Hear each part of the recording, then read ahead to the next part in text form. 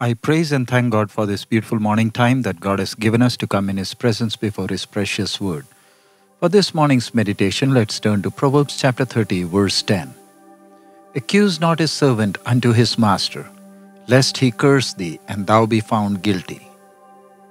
Here, the Spirit of God warns us to be cautious about every word that we speak of others. We have the freedom to use our tongue either to bless people or to add more grief to their lives. Here, the Spirit of God is telling us how our words can add burden to the pain of a servant. A servant is the one who is weak materially and suffers much in his life. He already goes through much affliction because of his poor circumstances. He is serving his master so that he can have a good life under the wings of his master. He also has the desire to enjoy his life with all its comforts, like the others do. But a servant is bound to serve his master as he has no other option other than that. So when we accuse a servant and unto his master, though there is no one to stand up for him, we need to remember that heaven is taking note of his pitiable situation and stands for his aid as the Creator loves each soul, no matter what their position and what power they have. And so, if the servant cries before the Lord or curses thee out of his grief, then the scripture says we'll be found guilty in the eyes of the Lord and have to bear its consequences. We are not supposed to take advantage of the poor condition of the other person. No one in this world is born as a perfect person. Each one learns from his or her mistakes and grows to perfection. I'm talking about the physical aspect of a person, not about the spiritual one. And God wants His creation to help each other in this process of learning so that we may learn to care and love each other with a mind like a Father in heaven. And it pains the Lord when we abuse the weak and the helpless. That is why, through His divine law, we can see how God clearly warns His people not to abuse the fatherless and the widows. They are instructed to take care of their servants and the strangers. We can see the loving heart of the Lord towards His creation revealed through the law. God not only watches our deeds, but God looks at our hearts and the intentions that are within. We may not have done any wrong deed to the servant, but when we accuse them, it shows the filth in our mind that enjoys the misery of others. When we accuse a servant, it is for sure that the master may believe our words and deal with him in a harsh manner.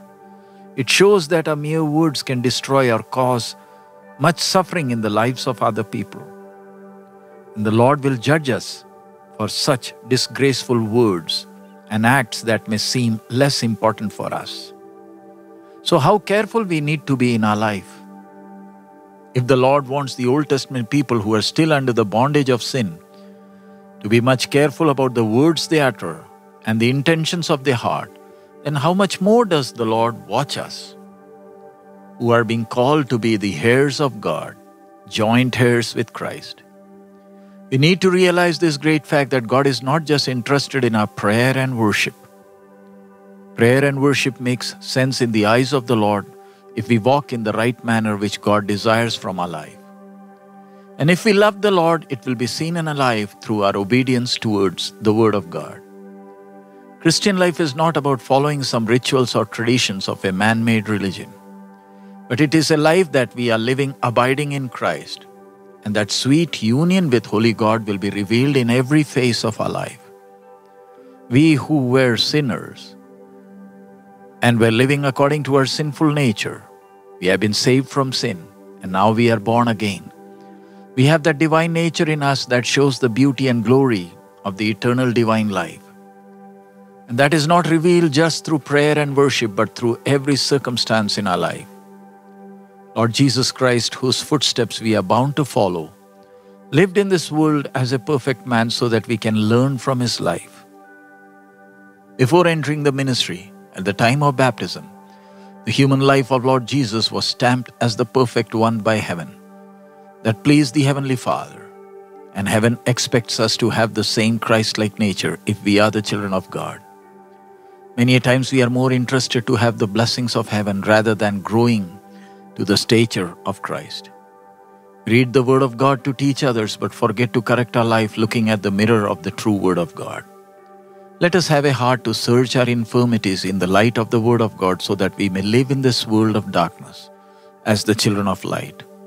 We need to remember that Holy Spirit God is dwelling in us, not just to reveal His power through our lives but we are supposed to be the true witness of Christ in this world of sin. Our life must be a witness to the world that Lord Jesus came to this world to save us from the bondage of sin. Through Christ, we are free from sin, and that freedom will be revealed in our nature, in our thoughts, words, and deeds. If not, our newborn experience is of no use. Let the world know that we are the children of Holy God. If not, we will be judged by heaven for all the words and acts of our life. The judgment is not only for the unbelievers, but we, the children of God, will also be judged for everything that we do in our life. That is why Lord Jesus told us it is better to cut off an organ from our body if it offends us than to end up in eternal hell with a good body.